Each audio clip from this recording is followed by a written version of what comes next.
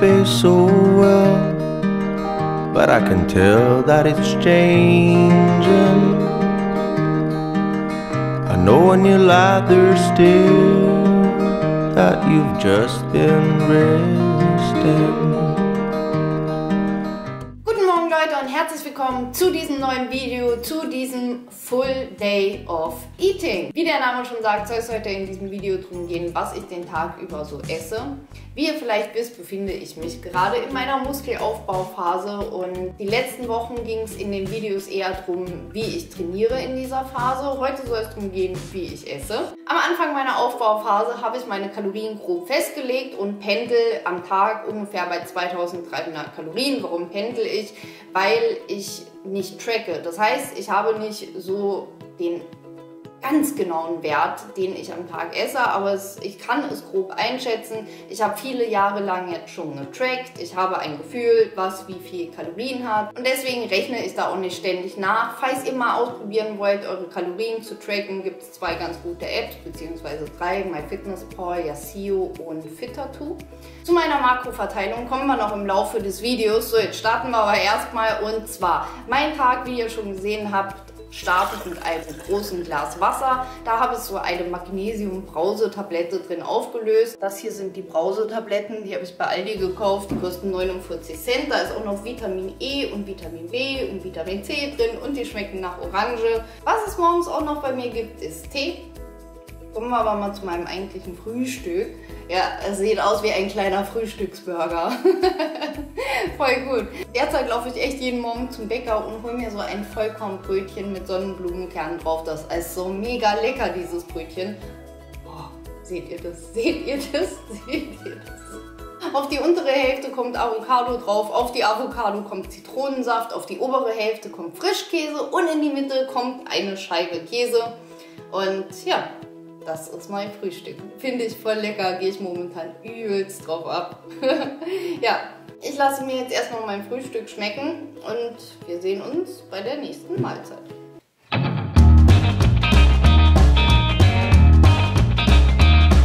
Frisch vom Sport zurück.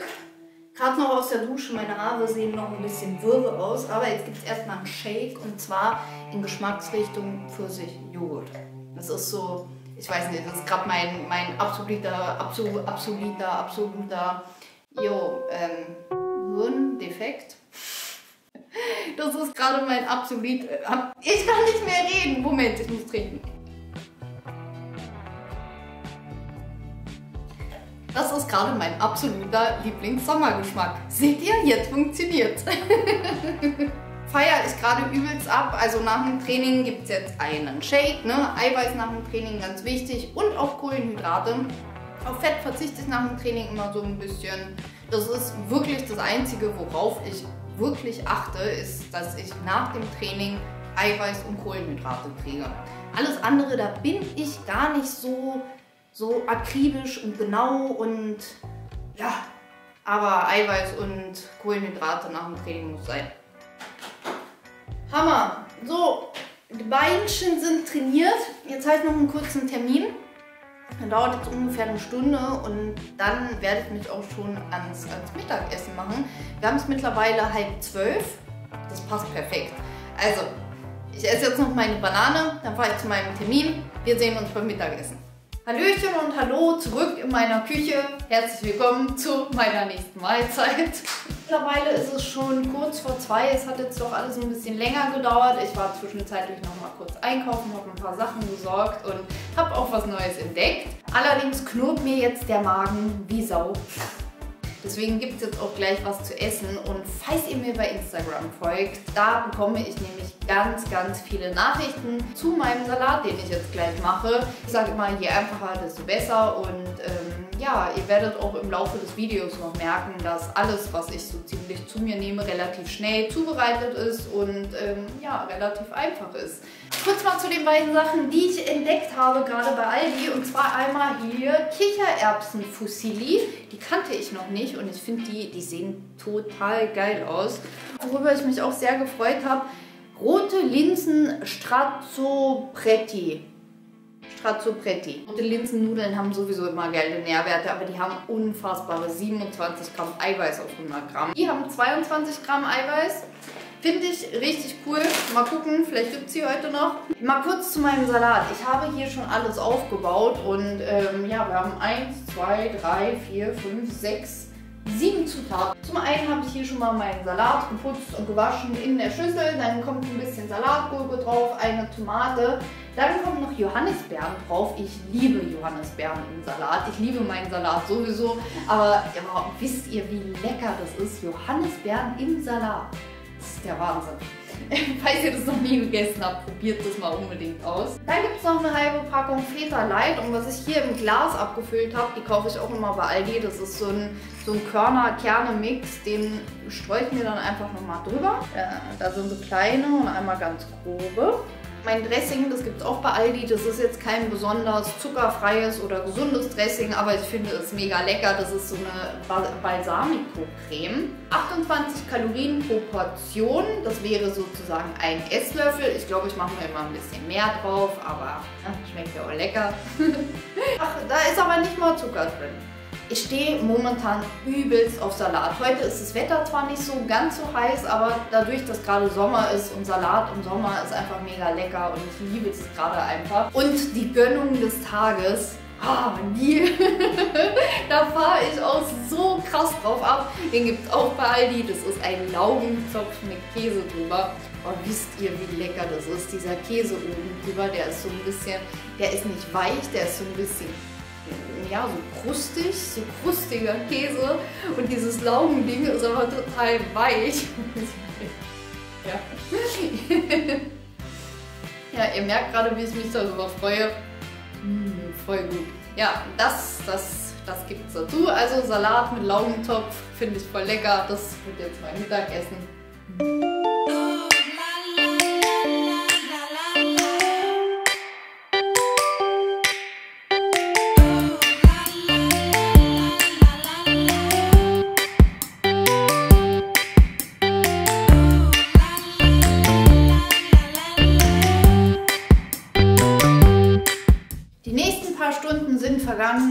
Knurrt der Magen, ich saß am Rechner, ich habe Kopfschmerzen und ich habe Hunger. So, es ist Zeit für die nächste Mahlzeit und ich habe mir angewöhnt schon seit längerer Zeit, dass ich nur noch einmal am Tag koche. Also wenn ich mir jetzt so einen Salat mittags zubereite, das ist für mich nicht wirklich Kochen. Heute gibt es eine große Portion und die haue ich mir jetzt rein. Es ist 17 Uhr. Ich habe hier eine Paprika, dann habe ich Mini-Mozzarella-Kügelchen. Die kennt ihr vielleicht aus meinem Aldi-Haul von letzter Woche. Da habe ich die schon gekauft. Ich liebe diese Dinger. Die sind unnormal lecker und das ist auch die Vollfett-Variante. Da ist mir das auch egal. Wir sparen dafür an ein paar anderen Ecken. Die erste Sache, wo ich bei diesem diesem Gericht so ein bisschen einspare, ist die Nudelsoße. Also ich habe hier so eine, die ist echt lecker. Die ist von Aldi, das ist so eine Nudelsoße mit Basilikum. Die hat auch nur 49 Kalorien auf 100 Gramm.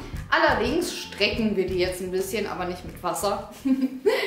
ja, wir strecken die, nein, indem wir sie auf den Boden hauen. Das Glas ist stabil. Okay. Wir stricken die jetzt ein bisschen mit Tomaten, fein gehackt, also stückigen Tomaten aus der Dose. Die haben 22 Kalorien auf 100 Gramm. Und dazu kommt dann auch noch passierte Tomaten. Das ist eigentlich so ziemlich dasselbe wie die Nudelsoße. Hier ist noch Tomatenmark, Zwiebeln, ah, Zucker ist auch noch drin, Basilikum, Meersalz, Knoblauch, Pfeffer. Also hier ist noch so ein bisschen Geschmack drin. Könnte man jetzt auch selber dazu machen, aber hey, wir sind im Aufbau. ja, und ähm, hier sind es halt einfach nur passierte Tomaten mit Basilikum. Also das ist die Aufbauvariante, das ist die Diätvariante. Aus diesen drei Tomatensachen wird meine, achso, es gibt übrigens Nudeln, habe ich das schon gesagt. Auf jeden Fall wird daraus meine Nudelsoße entstehen. Das ist nebenbei bemerkt übrigens auch eine der Fragen, die mir so, so, so, so oft gestellt wird, wie ich meine Nudelsoße mache. Jetzt werdet ihr es gleich sehen. An Gemüse wird es heute Paprika, Zucchini und Aubergine geben. Die werde ich mit meinem geilen Gemüseschnippler in kleine gleichmäßige Würfel schneiden. Normalerweise sind das hier meine Lieblingsnudeln. Das sind die Dinkelspirelli, die gibt es bei DM. Warum finde ich die so cool? Erstens, sie schmecken lecker und das zweite, sie müssen nur vier Minuten kochen. Das heißt, sie sind schnell fertig und ich muss nicht lange warten.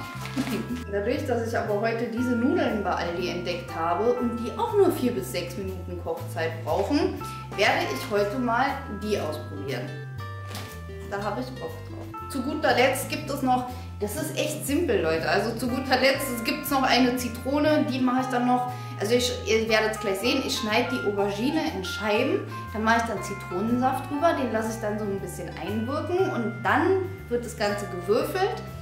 Und ja, ich würde sagen, ich zeige euch einfach, wie ich das Ganze koche. Ich lege los. Los geht's.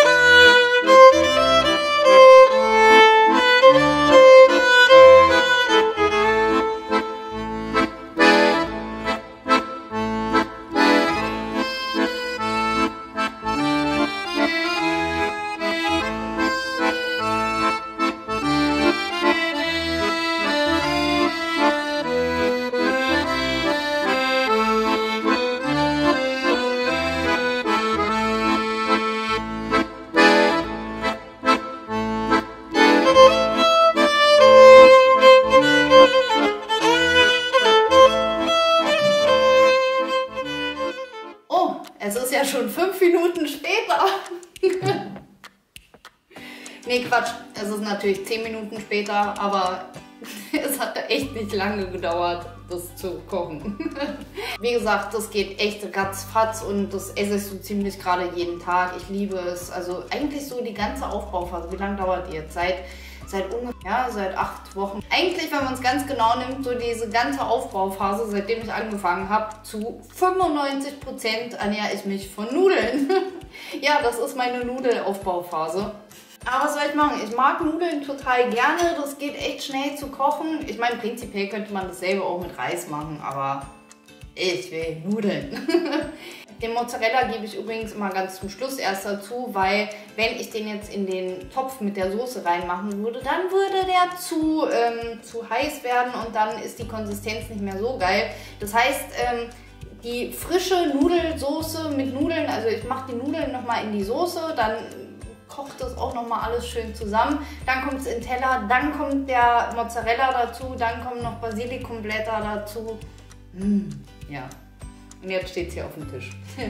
eh noch viel zu heiß zum Essen, deswegen erzähle ich euch mal schnell was über meine Makro-Zusammensetzung. Die ist nämlich tatsächlich ein bisschen anders als sonst. Ich pendel ungefähr, also ungefähr. Beim Eiweiß, das ist relativ Standard, bewege ich mich bei 2 Gramm pro Kilo Körpergewicht. Das heißt, ich irgendwo rundherum um die 100 Gramm. Und beim Fett gibt es dann sozusagen die große Erneuerung. Da bin ich nämlich wirklich hoch mittlerweile. Und zwar schwanke ich, ich würde jetzt mal sagen, bei 70 bis 80 Gramm pro Tag. Ähm, ja, der Rest sind dann einfach Kohlenhydrate. Ich weiß jetzt ehrlich gesagt gar nicht genau, wie viele es sind, aber der Rest ist immer Kohlenhydrate. Hier, geht alles, geht alles in den rechten Bizeps. Wir können das jetzt langsam essen und ich bin mega gespannt auf diese, auf diese Kichererbsennudeln. So, Live-Verkostung hier.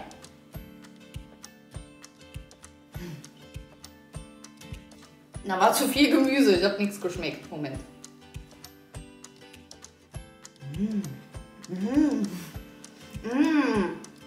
Die sind, die sind geil. Die sind ganz, ganz leicht bissfest. Ich habe die aber auch extra 6 Minuten anstatt 4 kochen lassen, weil ich mag das immer, wenn die so ein bisschen weich sind. Ganz leicht bissfest, aber dennoch sehr weich. Also eigentlich finde ich sie richtig geil. Die sind richtig perfekt. Oh, jetzt bin ich happy. mmh. Das soll es für heute noch nicht gewesen sein. Ich esse jetzt meine Nudelschüssel auf. Wir sehen uns beim nächsten Essen.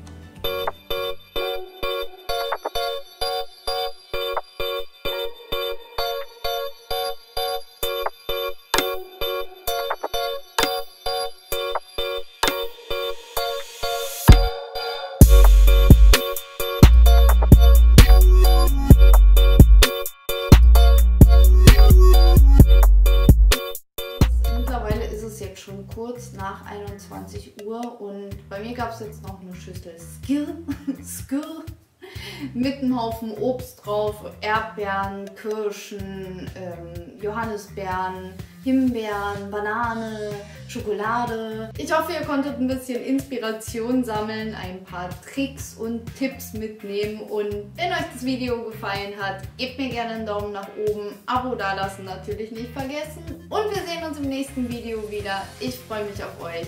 Bis bald!